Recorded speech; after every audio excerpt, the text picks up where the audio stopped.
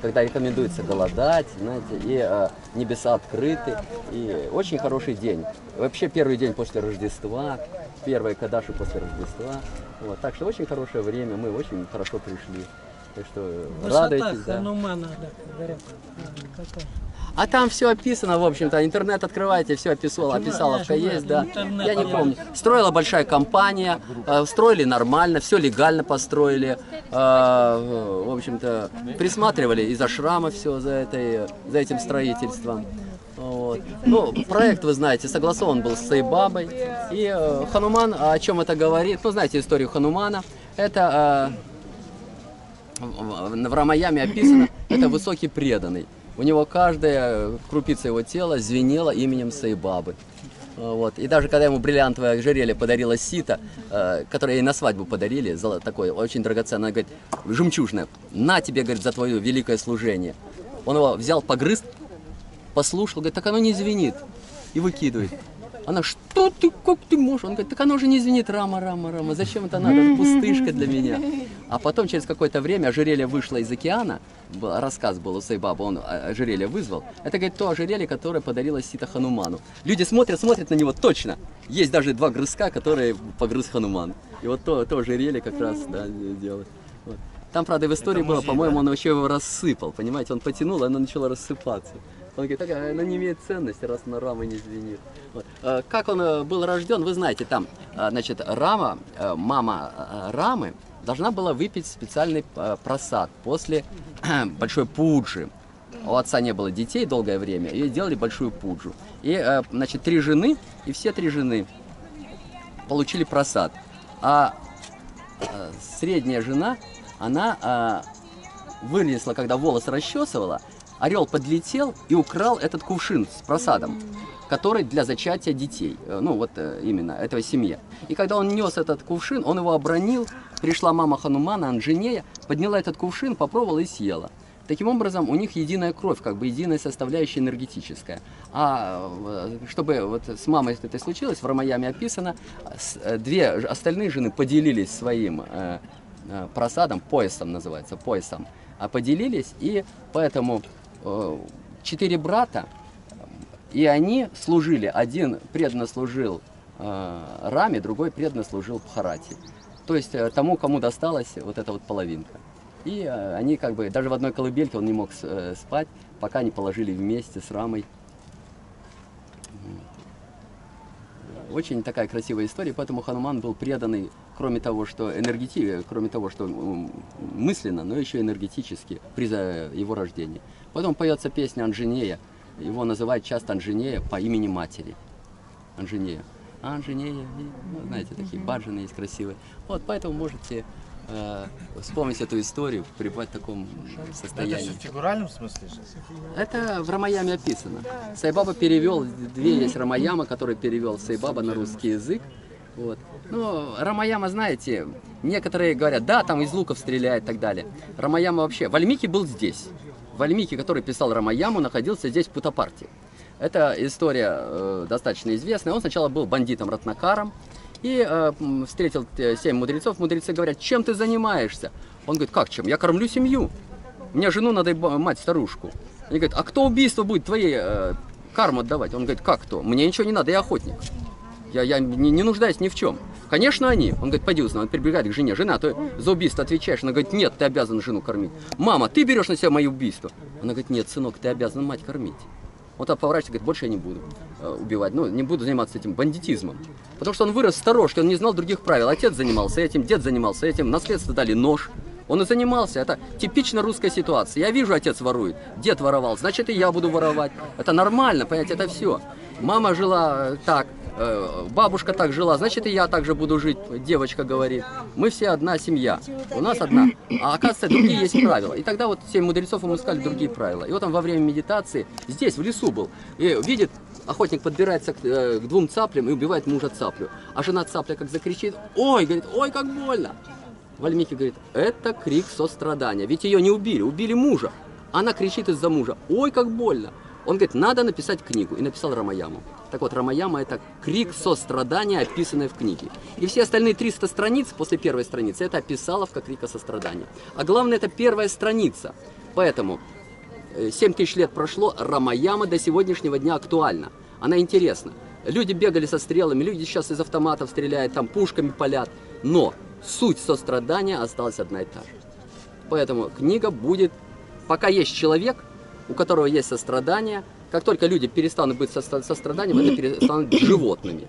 До тех пор, пока род человеческий есть, есть сострадание, до этих пор будет Рамаяма важна, будут ее читать, будут восторгаться, и будут дети плакать, не дети плакать, будут кто-то будет плакать, кто-то будет смеяться, кто-то будет э, прочитал страницу и неделю, потом будет размышление. Живу ли я так или живу я как э, я мечтаю жить, вот, э, как надо.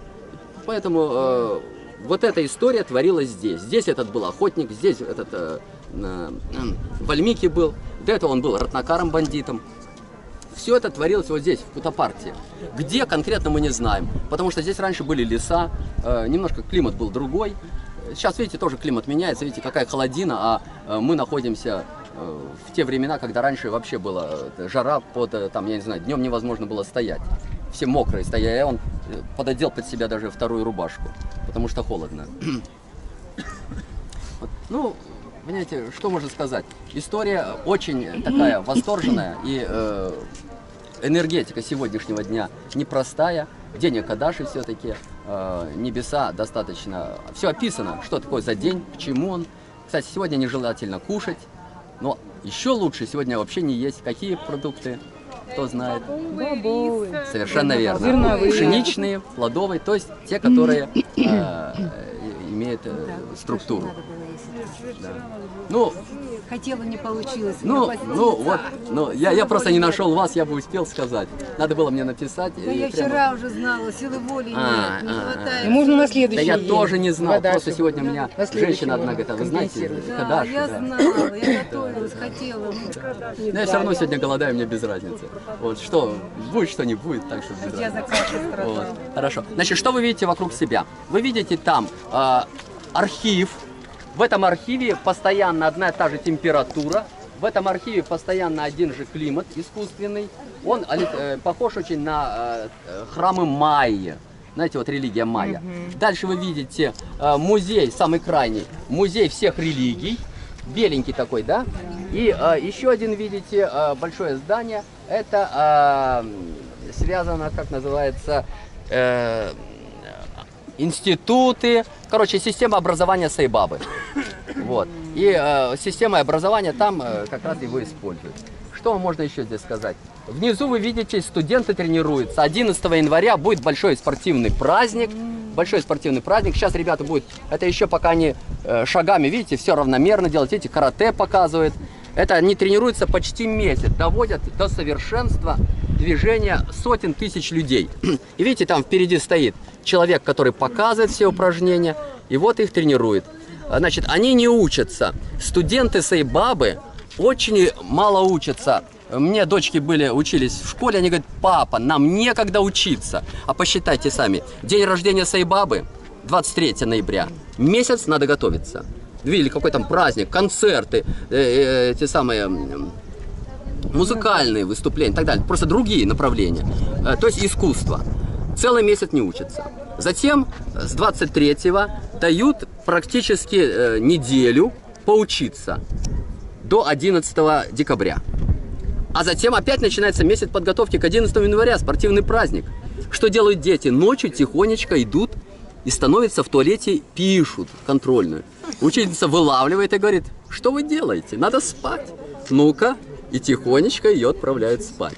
Значит, здесь есть такое известное э, издание э, «Профессор». Он говорит, чем отличаются мои студенты датские от тех студентов, которые я учу в Путапарте.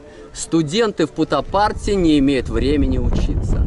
А почитайте сами, йогой надо заниматься, веды учиться и петь надо, все э, э, традиционные праздники в Путапарте надо. А что остается время? Времени остается. Если бы им дали времени учиться, сколько дают моим студентам учиться, это были бы гении. Тем не менее, институт Сайбабы постоянно во время проверки, всей индусской проверки институтов занимает первые места. А лет пять назад выступал человек, который проверяет и говорит, у нас есть высшая оценка, там как-то в Индии э, плюс, там и так далее. Так вот, я, говорит, не могу поставить, потому что это предел того, что я могу поставить. Я поставил, то есть, а вы знаете, в Индии как? Дает общий экзамен, его пишут, а чтобы не было взяток и, так сказать, посредничества, передают неизвестно кому для проверки, отсылают в Дели. Все в письменном виде. И потом делают. И еще делают выборочные. Вот, например, сегодня досконально проверяют химию полностью. И вы ничего не сделаете. Если у вас провал, институт закрывает. Это самая страшная, как говорится, а, проверки, вот, которые приходят с Дели. И они постоянно теребят профессорско-преподавательский состав после каждой проверки э, чистят. И, э, значит, и вот эта проверка, независимая проверка, которая приезжает из Дели, ведь э, институт Сайбаба, он обычный институт по э, команде Дели. Для них это обычное.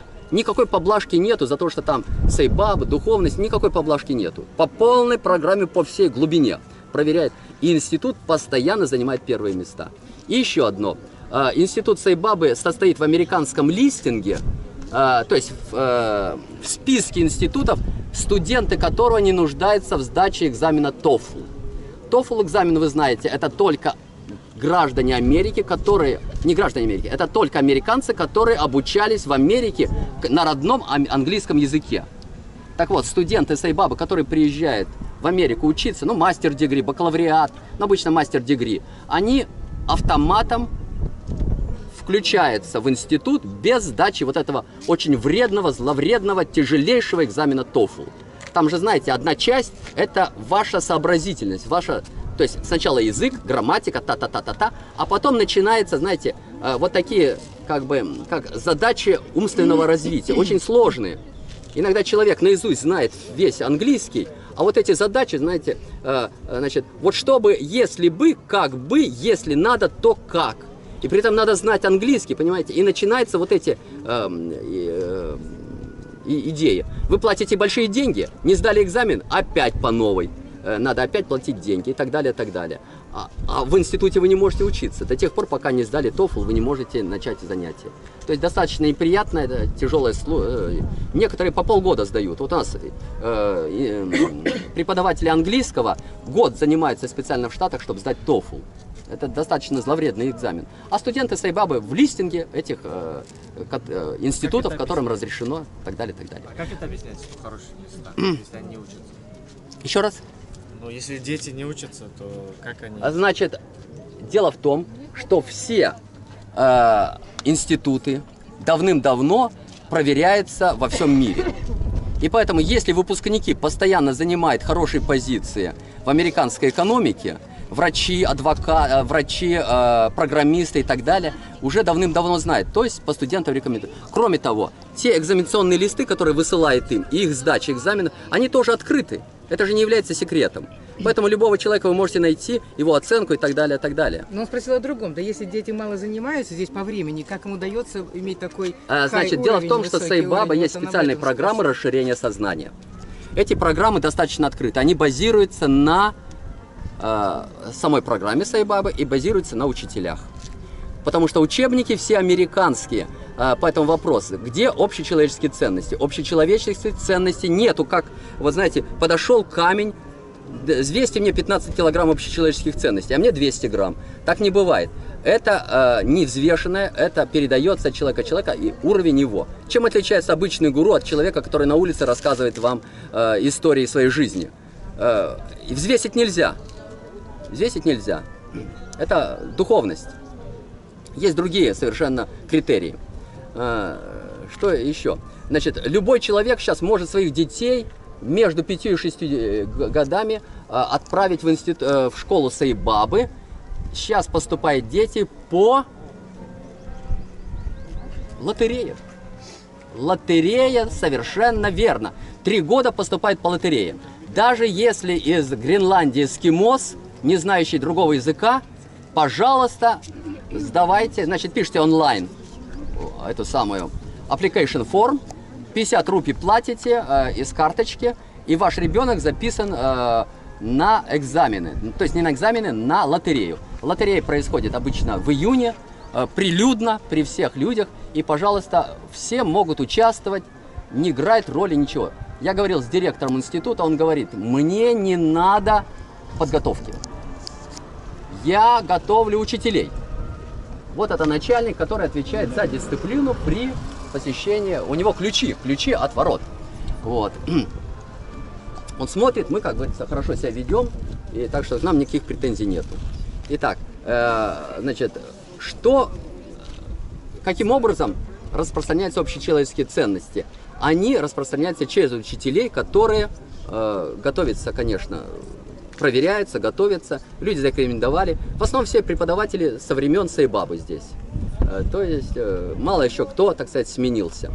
Ну, мораль такая, что в конце урока учитель Сайбабы не смотрит на часы, его ждет своя семья, свой ребенок ждет, понимаете? Он считает секунды, когда же он бросит вот это, понимаете, эту историю и начнет заниматься нормальным детям, э, нормальным делом, которое он ждет целый день. Ради этого он собирает деньги. Преподаватели Сайбаба, они совершенно э, имеют другой подтекст.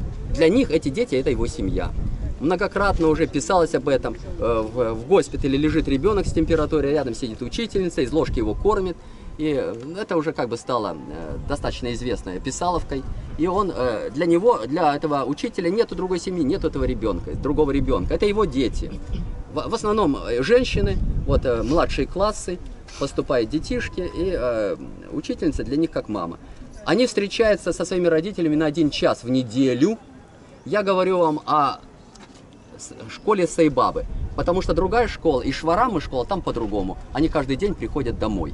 А я говорю о школе Сайбабы, где круглосутка. С, Игорь, э, прости, пожалуйста, еще раз. Все-таки дети из всех стран, то есть с- могут, да? М? Из, всех стран дети, всех то есть стран, могут, с да? 5 до Вот 6 да, из всех лет. стран. легально стран участвовать теперь, в лотерее да? могут дети Из всех всех стран. стран. На сегодняшний день это четко сказаны слова Сайбабы. Любой человек может присоединиться к моей школе.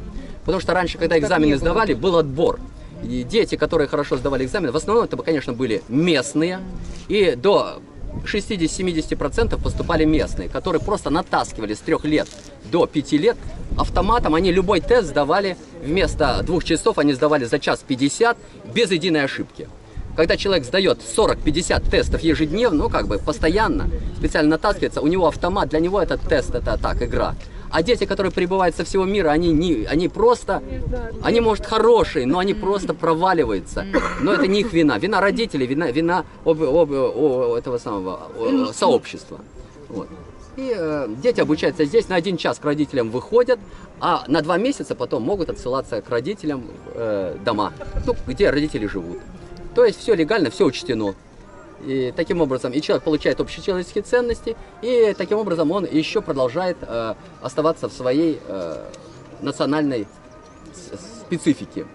И еще некоторая проблема. Местные дети, телегушные дети, которые поступают в школу Сайбабы, они не знают, как писать на телегу. Они умеют разговаривать. Это тоже очень интересно. Вот, да, такая, такая тонкость. И вот есть такой случай, когда Сайбаба писал мальчику письмо английскими буквами на телугу. Он хотел, чтобы мальчик не забывал свой родной язык. И он писал английскими буквами. Это письмо есть. Э, называется книга э, «Только в тебе спасение». Там как раз даже это есть э, листик такой, копия, ксерокопия, где Сайбаб писал английскими буквами на телугу. Вот, это такие, да, такие тонкости, да. Вот. Ну, а, конечно, некоторые дети хорошо самостоятельно выучили телугу, самостоятельно могут писать.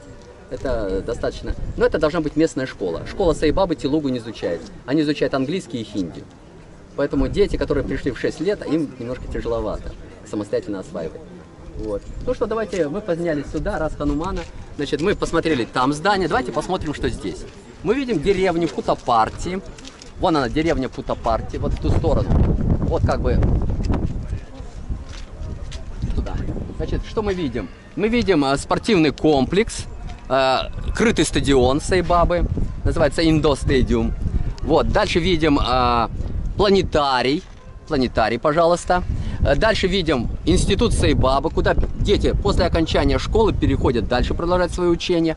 Здесь бакалавриат и мастер-дегри. Вот. Дальше.